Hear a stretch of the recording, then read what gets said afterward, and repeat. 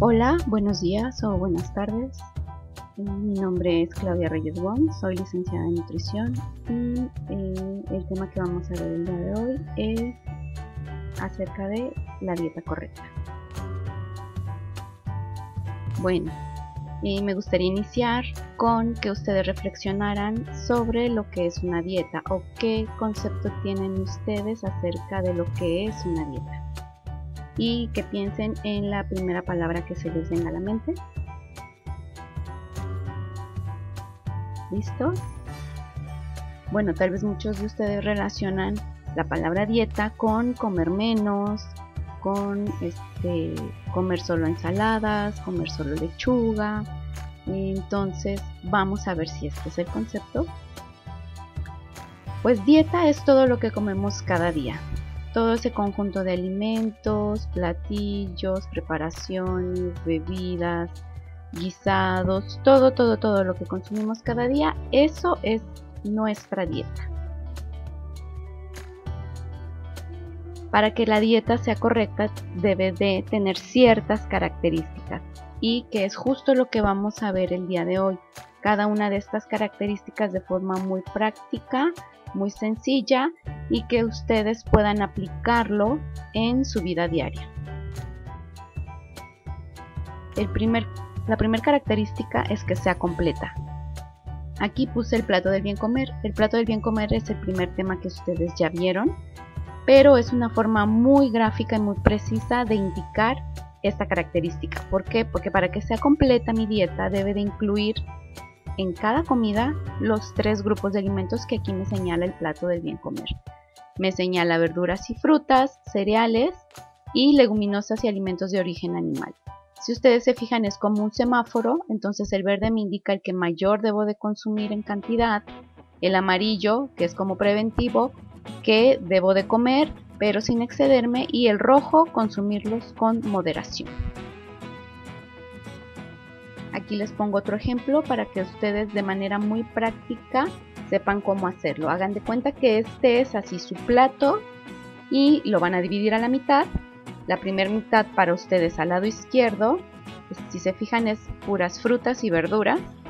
La otra mitad al lado derecho la dividen otra vez a la mitad y un cuartito de mi plato va a ser para mis alimentos de origen animal en la parte superior y en la parte inferior mis cereales pan, pastas, tortillas, galletas, papas, etc. La segunda característica es que sea equilibrada.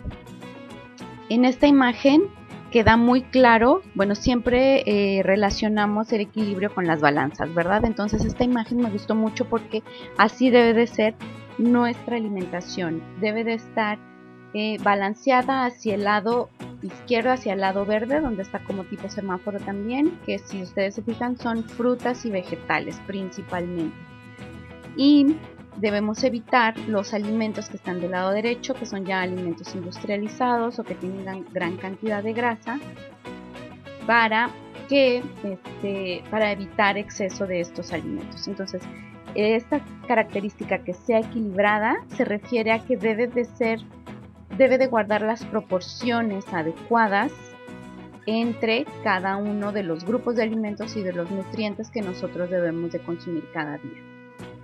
¿Cómo vamos a lograr esto? Bueno, pues es el semáforo, lo vuelvo a mencionar aquí, es muy práctico como viene en el plato del bien comer. Frutas y verduras vamos a comer en abundancia. Cereales que sean naturales e integrales. ¿Cuáles son los cereales? Son todas esas semillitas que tienen eh, como esa característica de este, ser harinosas. Entonces el maíz, para nosotros los mexicanos, que es nuestro cereal principal, el pero también consumimos mucho, muchos alimentos de trigo, eh, la avena, el arroz, eh, la cebada y todos sus derivados. Es decir, pan, pasta, cereales que se hacen a base de estos cereales también entran en este grupo y los vamos a consumir, bueno, de forma este, eh, moderada, sin excedernos, y lo vamos a combinar con leguminosas. Aquí yo pongo como ejemplo la principal leguminosa que consumimos igual nosotros los mexicanos, que son los frijoles. Entonces una combinación perfecta son taquitos de frijoles, de harina de maíz, o frijoles con arroz, o lentejas con arroz. Y estas son preparaciones que nosotros le, le podemos decir a papá y mamá que nos hagan para que obtengamos proteína vegetal de buena calidad. Y los alimentos de origen animal, bueno, pues aquí nos menciona que es comerlos con moderación y vamos a preferir las carnes blancas, pescado y pollo eh, en lugar de las carnes rojas. No vamos a eliminar las carnes rojas de la dieta, pero consumirlas este, con moderación, de preferencia carnes blancas. La tercera característica es que sea inocua. Y van a decir, ¿y esta palabra qué significa o qué es, no? Bueno, esto significa que sea, debe de ser limpia y libre de cualquier elemento que me pueda causar algún daño. Eh, entonces, eh, por lo tanto, vamos a higienizar bien nuestros alimentos, a cocinarlos bien y a elegir alimentos lo más naturales posible para que no contengan mayor cantidad de químicos que puedan causarnos algún daño. Suficiente es la cuarta característica. Esto se refiere a que debe de cubrir mis necesidades personales de energía, de calorías, de nutrientes. Entonces ustedes que están en edad escolar necesitan consumir alimentos saludables todos los días para que ustedes tengan un adecuado crecimiento y desarrollo, como los, eh, como están aquí las imágenes, ¿verdad? Que lleguen a su pico máximo de crecimiento y que ustedes tengan la energía suficiente para estudiar, para jugar, para hacer deporte. Y eh, esto solo se obtiene a través de una alimentación suficiente variada. Esta es la quinta característica de una dieta correcta. Esta se refiere a que tenemos los grupos de alimentos, ¿verdad? Pero dentro de esos grupos de alimentos, o sea, por ejemplo, dentro del grupo de las frutas y, la verdura, y las verduras tenemos gran variedad de frutas y verduras. Entonces vamos a incluir gran variedad de cada una de ellas. Es decir, no voy a comer solo plátano y manzana, ¿no? No, hay muchísimas otras frutas muy ricas y muy nutritivas que yo puedo incluir en mi alimentación. Eh, igual con los vegetales, no voy a incluir a lo mejor solamente lechuga y tomate, no, hay brócoli, espinacas, eh, apio, zanahorias, bueno, tenemos una gran infinidad de vegetales de los que debemos y podemos eh, echar mano para armar nuestros, nuestras este, preparaciones en cada horario de alimentación. Entonces, a esto se refiere la variedad, que de cada uno de los grupos de alimentos incluyamos gran variedad de cada uno de ellos eh, en cada horario de nuestra alimentación. Y por último, la característica, la sexta característica que es que sea adecuada. Debe de ser adecuada la dieta a mis gustos y a mi cultura.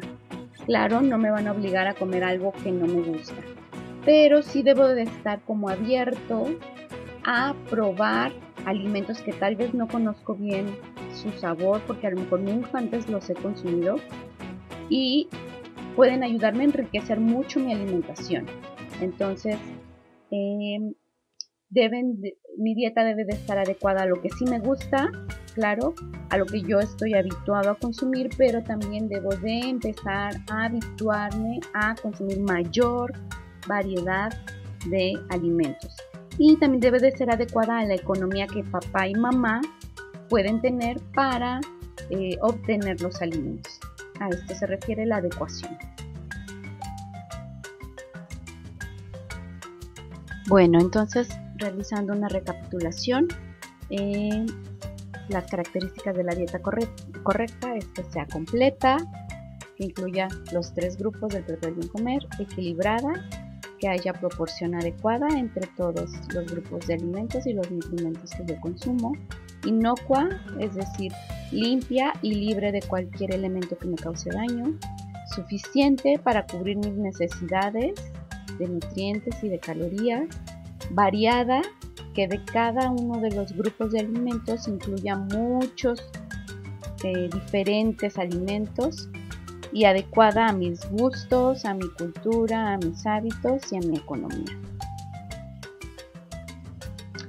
Eh, como último, hay este, algunos pequeños tips para eh, o consejos para llevar una dieta correcta, que ustedes los pueden comentar con mamá y papá para que sea mucho más fácil en cada día aplicarlos y mejorar nuestra alimentación. Entonces, en cada comida consumir un alimento de cada grupo. Es decir, siempre que me voy a sentar a comer, yo debo de revisar que sí incluya los grupos de alimentos que me menciona el plato del bien comer. Tomar agua natural en abundancia, ese debe de ser nuestro principal líquido durante el día y nuestra principal fuente de hidratación. Después, realizar tres comidas mínimo, es decir, mi desayuno, mi comida y mi cena cada día. Eh, como colaciones se pueden comer fruta, verdura, yogur natural y semillas entre las comidas, porque pues me puede dar hambre. Entonces estos alimentos son opciones como saludables. Y comer en un lugar tranquilo y sin distracciones. Esto es muy importante. Tenemos que apagar la tele, apagar el celular y comer tranquilo, en familia, concentrado en mis alimentos, en su olor, en su sabor, en su textura y disfrutar cada bocado que yo realizo. Y bueno, pues por mi parte es todo. Este es mi, contacto, mi correo electrónico y eh, si tienen ustedes alguna duda, con muchísimo gusto yo se las aclaro. Y este, es para mí un gusto haber participado con este pequeño videito, pero espero que les sea de mucha utilidad. Muchas gracias.